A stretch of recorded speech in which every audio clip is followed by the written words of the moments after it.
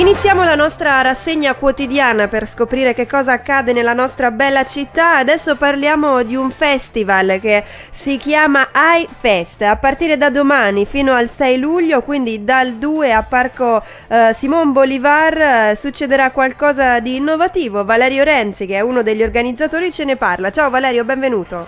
Ciao, ciao. Allora, stiamo parlando di un festival completamente indipendente, promosso dalle reti sociali del territorio, ma chi lo organizza? Eh, lo organizza una serie appunto di realtà sociali di questo territorio, un po' stufe della desertificazione culturale a cui è condannata Roma, mi sembra condannata Roma e in particolare, e in particolare i territori periferici della, della, nostra metropoli, per questo insomma abbiamo deciso di fare, di fare questa iniziativa è un'iniziativa che non ha un euro di, di finanziamento pubblico, si basa sul lavoro, sul lavoro volontario e sulla passione di tanti attivisti e di tante persone di questo, di questo territorio. Siamo contenti di essere riusciti a mettere insieme un programma, un programma insomma, all'altezza di quello, di quello, che volevamo fare. Insomma. Lo slogan di questa prima, speriamo fortunata edizione di iFest è La cultura deve essere un bene comune e non un lusso. Questo concetto si traduce nella volontà di non far pagare un biglietto di ingresso, se non sbaglio. Beh, di fatto non tutti i giorni, perché chiaramente eh, non avendo un euro di finanziamento pubblico, questa iniziativa ha chiaramente evidentemente eh, dei costi, quindi sono due le serate a pagamento, comunque a 5 euro eh, in cui presentiamo l'unica data romana dello Stato sociale, eh, giovedì e venerdì un'accoppiata Iovine 99 posti e poi eh, a chiudere diciamo, il progetto del danno, il progetto radiofonico del danno del Colle del Fomento, si chiama Welcome to the Jungle. Queste sono le uniche due serate a pagamento, le altre tre sono tutte quante a ingresso libero.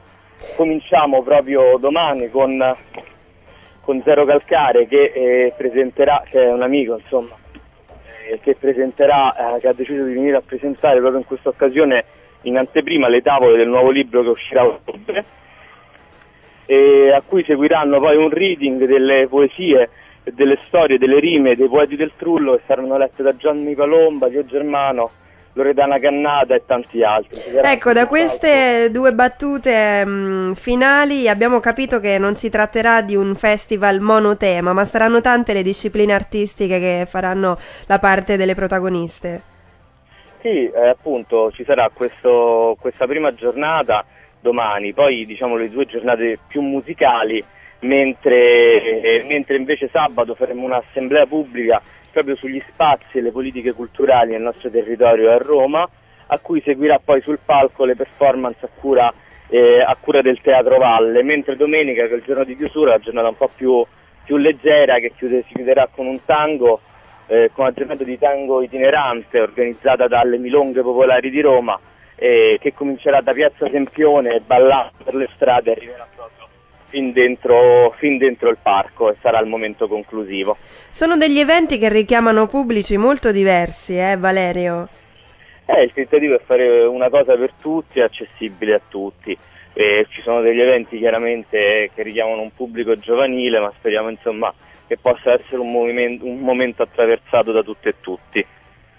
Ecco, quindi no, mi, mi incuriosisce tantissimo questa eh, ultima data con eh, Milonga e Tango perché effettivamente il, le persone che parteciperanno saranno totalmente diverse magari da coloro che verranno ad ascoltare i concerti di cui abbiamo parlato prima. Come vi è venuta questa idea? Avete deciso Beh, di unire diversi pubblici sì per dare una scelta più versatile? No, abbiamo deciso perché le milonghe popolari sono ormai un, insomma, una realtà consolidata a Roma ballano ovunque, sono una cosa molto affascinante e, e molto bella anche da vedere non solo per chi, per, chi, per chi, vi partecipa. Il fatto che poi lo si faccia per le strade, eh, muovendosi per le strade, insomma, ancora, è ancora più affascinante.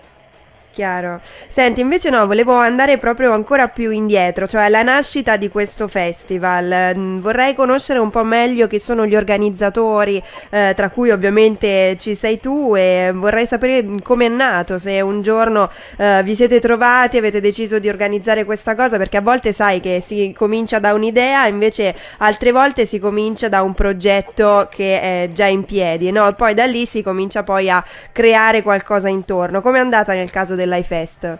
In questo caso è nata che noi per tanti anni, sono tanti anni, sono ormai più di dieci anni che facciamo attività politiche, sociali e culturali su questo territorio, un territorio che non ha, che non ha un teatro, che ha un solo cinema, un territorio, questo municipio con tanti abitanti quante tante città medie italiane come Bologna e in un momento di certificazione delle politiche culturali insomma, abbiamo ritenuto, ritenuto necessario fare, fare, questo passaggio anche per dimostrare che c'è bisogno di spazi, c'è bisogno di spazi per fare cultura, eh, c'è bisogno di spazi e c'è bisogno anche di politiche, di politiche adeguate.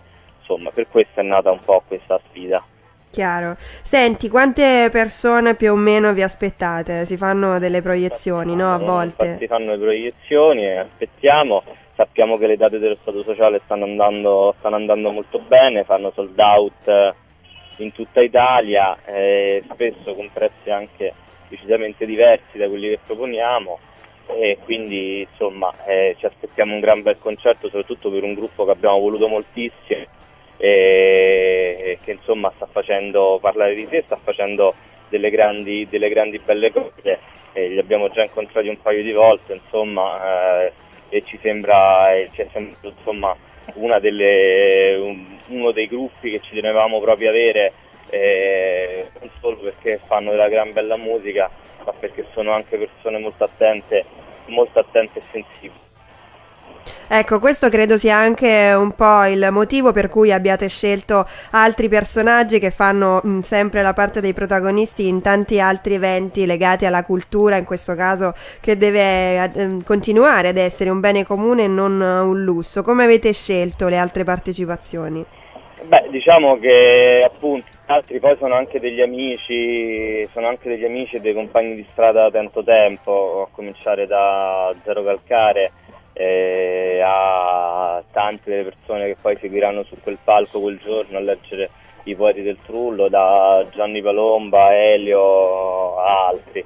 E sono dei compagni di strada prima di tutto, come sono i compagni di strada i 99 posti, Iovine e Dan, insomma sono persone che conosciamo bene, che ci conoscono, qui c'è un legame di fiducia e c'è un legame di fiducia e quindi ci è venuto naturale chiamarli a partecipare e siamo stati insomma, subito contenti anche de- dell'entusiasmo. Chiaro, senti Valerio, c'è un sito internet o comunque un posto dove andare a reperire delle informazioni? C'è un iFest Roma Tumblr Uh-huh. Quindi, e poi c'è una pagina Facebook. Ecco, e con i social network eh, come interagirete? Avrete delle, delle, persone che si occuperanno di questo oppure preferite andare solamente nella relazione faccia a faccia?